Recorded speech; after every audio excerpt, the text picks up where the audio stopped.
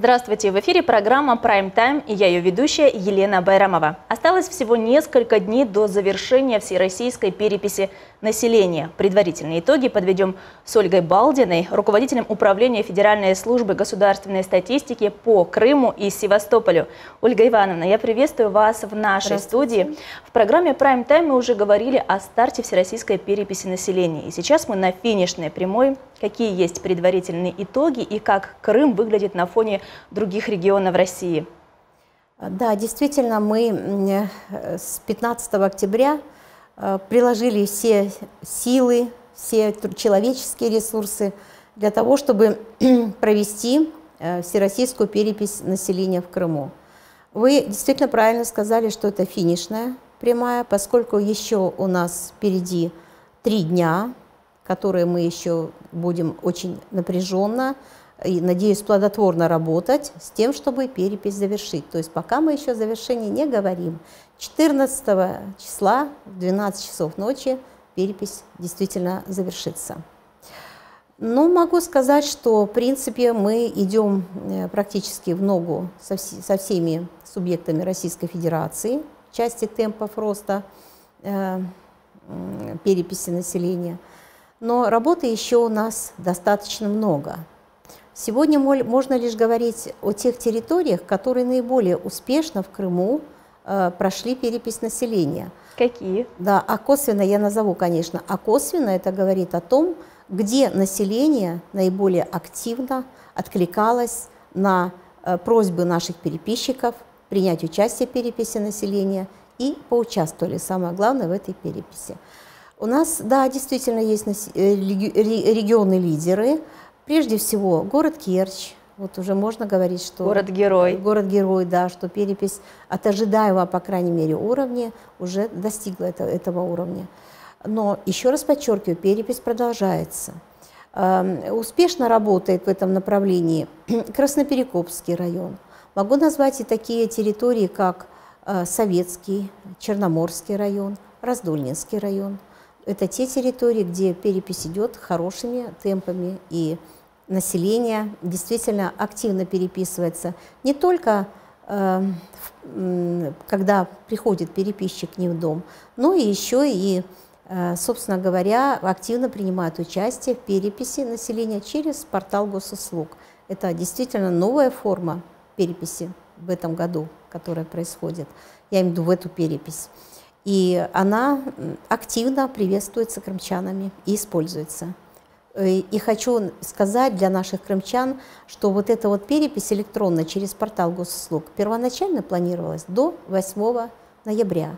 Продлили, учитывая, что население активно откликнулось на такую форму переписи, э, продлили электронную перепись также до 14 ноября текущего года.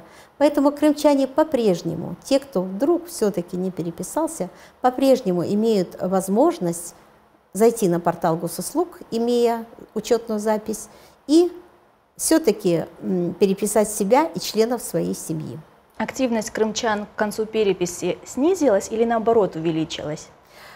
Я вот тут сказала бы, это не, не признак активности, это признак того, что все-таки большая часть э, населения все-таки переписана уже, поэтому сама перепись несколько замедлилась. Сейчас мы работаем, во-первых, с теми, кто по каким-то причинам все же не успел переписаться, ну и опять же проходим по тем помещениям, по тем домовладениям, где по какой-то причине нам еще не открыли дверь, или э, по какой-то причине отказались участвовать в переписи. У нас, к счастью, таких отказов не так много, но они есть, и это тоже предмет доработки и повторного прохождения нашими переписчиками вот этих э, домовладений. Ольга Ивановна, а как крымчане реагируют на переписчиков, когда они приходят к ним для того, чтобы э, собрать позитивно, информацию? Позитивно. Я даже больше скажу, что э, тех, до кого еще наши переписчики не дошли, э, были звонки на протяжении переписи, люди беспокоились, как же так, объявлена перепись, а переписчик еще не пришел. Конечно, обязательно реагировали на эти звонки, понимая, что э, сегодня работа идет, продолжается, и переписчики придут и в тот дом, где люди уже их ожидают. То есть в большинстве своем люди даже ожидают, не просто, скажем, э, не намерены отказываться, но еще и в ожидании того, что переписчик придет. То есть тем самым действительно демонстрируется активная позиция э, крымчан и понимание, что перепись проводится прежде всего для самих жителей полуострова. В этом году впервые проходил онлайн-формат переписи. Mm-hmm. Вообще, насколько он себя оправдал? Ну, на самом деле оправдал. Э, сделать э, э, вот, свое участие в переписи, обеспечить это своими руками, и при этом не выходя из дома это сделать, и переписать при этом, иметь возможность переписать не только себя, но и членов семьи, это очень хороший формат, на мой взгляд. Тем более, что сейчас все-таки э, ситуация такова, что рекомендовано ограничить контакты какие-либо. Поэтому вот даже в нашей ситуации современной это очень э, нужный, я бы сказала, формат, и действительно он оправдал себя. Потому что вопросы они те же самые, что и задал бы переписчик, это прежде всего. Но зато в электронном формате есть еще всякого рода подсказки, автоматические как бы реагирование да, на те или иные вопросы, ну, исходя из ответов предыдущих. То есть э, это намного ускоряет, кроме того, и сам процесс прохождения переписи. Поэтому по всем параметрам э, будущее, я считаю, за электронной переписью. Проголосовать можно будет до 14 ноября включительно, но есть такие крымчане, которые сами хотят прийти на переписной участок. Где можно узнать адреса? Э, переписаться. Да. Переписаться э, можно действительно тремя способами, да, и третий вы правильно назвали. Первый – это либо переписчик пришел, либо на портале госуслуг, как мы сказали, либо действительно есть же переписные участки, они по-прежнему работают, они по-прежнему э, открыты, и на переписных участках есть э, инструкторы, которые ожидают тоже наших крымчан. Э, ну, можно зайти на сайт госуслуг, и, простите, не на сайт госуслуг, я прошу прощения, на сайт Крымстата, и у нас есть э, там окошечко перепись населения, где выставлены и списки уполномоченных, то есть лиц, которые отвечают у нас за ход проведения переписи по той или иной территории и их телефоны, и там же, в принципе, указаны адреса переписных участков. Но, как правило, уже мы на сегодня все-таки к завершению переписи подходим. Население уже знает, где переписные участки, потому что мы, когда проходили по адресам, то если не заставали людей дома, оставляли листовочку, в которой указывали свой телефон переписчики и адрес переписного участка, куда люди могут обратиться э, в том случае, если по какой-то причине не хотят открывать помещение и общаться с переписчиком.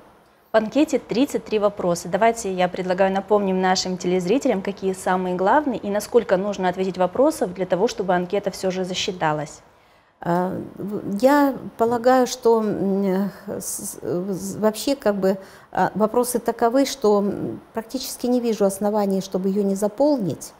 Главные, но все важно на сегодня в анкете, потому что она очень отрабатывалась очень тщательно, она отрабатывалась наукой, она отрабатывалась общественностью, эм, правительством, статистиками. То есть она, и там выверенные вопросы на самом деле. Пол, возраст. Да, э, я, да, да, конечно, я вам скажу обязательно. Речь идет о возрасте, речь идет о состоянии э, брачности, да, о количестве детей в семье.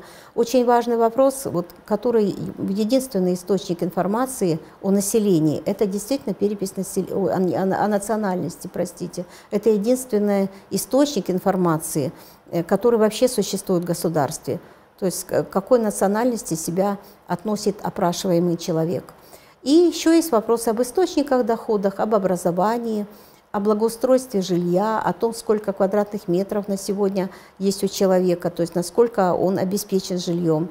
А, есть вопросы, касающиеся занятости, в какой сфере человек занят, и вопросы, касающиеся трудовой миграции, то есть перемещения э, крымчанина, допустим, он приезжает на работу из другого, приехал из другого региона, как долго он работает на данной работе. То есть изучаются вот и такие еще косвенные вопросы. Но основные я вам назвала, и они все важны для нас. Как, собственно говоря, даже самая основная составляющая, сколько в Крыму проживает людей и сколько проживает людей по муниципальному образованию. Каждый вопрос, и, и особенно данные о численности населения, конечно, очень важны и для правительства, и для, для глав муниципальных образований, с тем, чтобы успешно и эффективно выстраивать программы развития той или иной территории. Это, конечно, очень важно. Если вспомнить историю переписи в России, э, как менялись вообще эти вопросы, если сравнить вот э, с переписью 2021 года?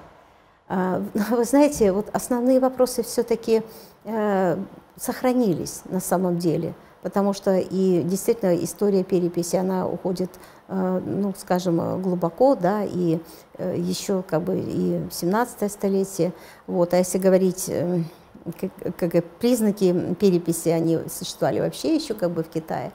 Вот. Но э, основные вопросы действительно, опять же, это вопросы, касающиеся численности населения по тому или иному, допустим, уезду еще в те времена. Вот. Род занятий тоже был важен. Вот. Но, возможно, не было таких вопросов, касающихся там, изучения э, благоустройства жилья. Да, это вопросы уже, которые являются признаком современности. А основные все-таки они, э, вопросы сохранились, безусловно. Количество их менялось в разное время в зависимости от того, что прежде всего интересовало государство относительно нашего населения, вот что, что являлось приоритете по развитию в государстве. Вот. Но основные вопросы сохранились. Когда подведут предварительные итоги переписи? Предварительные первые итоги мы ожидаем в конце текущего года. Мы уже узнаем, сколько в Крыму переписано людей и более развернутая картина по результатам переписи населения – это уже 2022 год. То есть на протяжении следующего года мы поэтапно будем знать полностью всю, все ответы на вопросы, которые мы задавали крымчанам. Только это будут ответы в целом по Республике Крым, в целом по каждому из муниципальных образований, в целом по каждому населенному пункту. У нас есть возможность еще раз обратиться к телезрителям и напомнить, почему важно принять участие в э, всероссийской переписи населения. А, ну, я, да, попросила бы крымчан э, отнестись с пониманием к этой э, всероссийской кампании, которая сейчас происходит.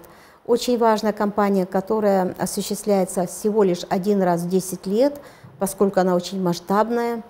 И э, Хотелось бы, чтобы было понимание у наших земляков о том, что э, перепись населения – единственный источник статистической информации о нас самих, которая даст возможность э, получить и развивать э, наше общество, получать и развивать те или иные программы, формировать и развивать те или иные программы, которые, собственно говоря, и создаются и формируются для того, чтобы нам жить становилось лучше и легче. Я думаю, крымчане, которые еще не успели принять участие в переписи, обязательно это сделают. Но это была программа Prime Time. Увидимся в следующем выпуске.